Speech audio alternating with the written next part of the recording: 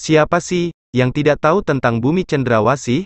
Bumi yang terkenal indah dan penuh kekayaan alami, tapi tahukah kalian, tanah ini juga kaya akan peristiwa-peristiwa penting dalam sejarah Indonesia, dan pada kesempatan ini, admin akan membahas operasi pembebasan Irian Barat yang namanya lebih dikenal dengan Operasi Trikora. Irian Jaya, atau kita biasa sebut Papua, adalah provinsi paling timur di Indonesia, dengan keanekaragaman budaya dan sumber daya alamnya.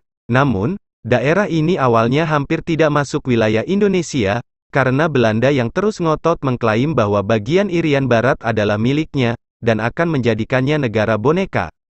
Semua berawal pada akhir Desember tahun 1949, di mana konferensi meja bundar diselenggarakan, tepatnya di Den Haag, Belanda. Konferensi ini membahas tentang kedaulatan Indonesia, yang di mana setelah itu Indonesia menjadi negara serikat walau hanya bertahan kurang lebih 8 bulan dan tanpa Irian Barat. Namun, hal yang kita sorotkan adalah daerah Irian Barat yang masih jadi perdebatan antara Belanda dan juga Indonesia pada masa itu.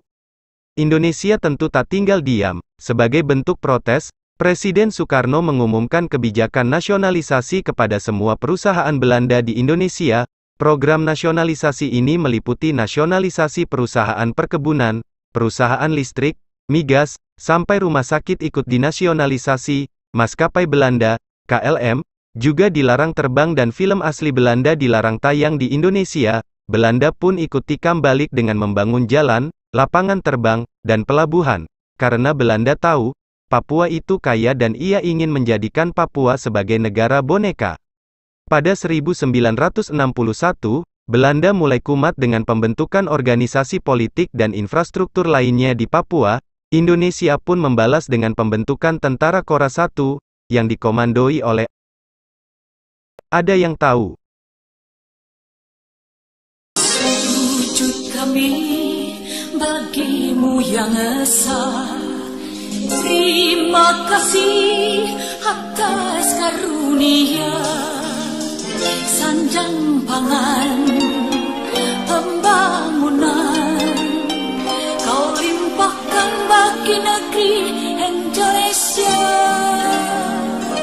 Ya, Bapak Maijen Soeharto, di bawah kepresidenan Soekarno, di akhir tahun itu juga, Soekarno mengadakan pidato di Yogyakarta, dengan menyatakan maksud, mengadakan operasi Trikora, yaitu menggagalkan Belanda menjadikan Irian Barat menjadi negara bonekanya, mengembalikan Irian Barat ke pelukan Ibu Pertiwi, juga mengibarkan sang merah putih dan juga digelarnya mobilisasi umum.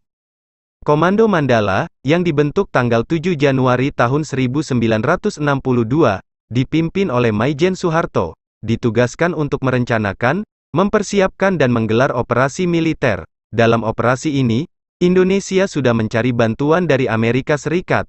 Namun Paman Sam menolak, Indonesia pun pindah haluan ke Uni Soviet, dan membeli banyak pesawat jet, kapal selam dan kapal tempur. Dengan kapal ikoniknya KRI Irian 201, karena keterbatasan dana, Indonesia mengajukan hutang ke Uni Soviet, dan disetujui dengan cicilan jangka panjang. Setidaknya, utang ini lunas di tahun 1999, setelah pembelian tersebut, TNI mengklaim bahwa NKRI memiliki angkatan udara terkuat di belahan bumi selatan. Selain alutsista, Indonesia juga berdiplomasi dengan negara sekutu Belanda, agar tak ikut campur.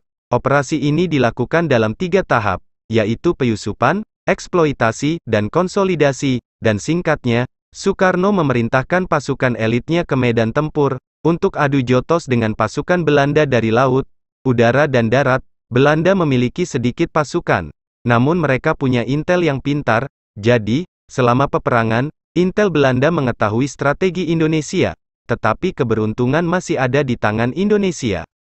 Pada akhirnya, Amerika mengambil alih dengan cara diplomasi, karena takut komunis akan mengambil keuntungan dari konflik ini, perundingan itu dilaksanakan pada tanggal 15 Agustus tahun 1962 di New York, ringkasnya, Irian Barat menjadi kepemilikan Indonesia secara bertahap, seperti pengibaran bendera PBB, dan voting atau perpera. Pada akhirnya, Irian Barat masuk daerah Indonesia, menjadi provinsi ke-26 dengan nama Irian Jaya, namun, permasalahan di Papua belum selesai begitu saja. Usai menjadi bagian resmi dari NKRI, muncul kelompok masyarakat yang ingin Papua jadi negara yang merdeka dan berdaulat. Menurut kalian, apakah usaha separatis tersebut adalah keinginan mayoritas rakyat Papua, ataukah cuma keinginan segelintir kelompok, atau di belakangnya sebenarnya adalah CIA dan Belanda? Coba tulis pandangan kalian di kolom komentar. Singkatnya, kelompok masyarakat ini akhirnya membentuk suatu gerakan separatis, yang dikenal dengan nama Organisasi Papua Merdeka, organisasi yang didirikan tahun 1965, yang masih ada hingga saat ini. Organisasi ini memiliki bendera sendiri, yaitu bendera bintang kejora, setiap tanggal 1 Desember bendera ini dikibarkan, yang dilatar belakangi oleh pandangan OPM, yang menganggap bahwa tanggal 1 Desember adalah hari kemerdekaan Papua atau Papua Barat. Apakah kalian tertarik untuk mengetahui lebih lanjut tentang OPM ini, dan apakah kalian setuju jika OPM ini dibahas dalam video sendiri? Coba tulis di kolom komentar.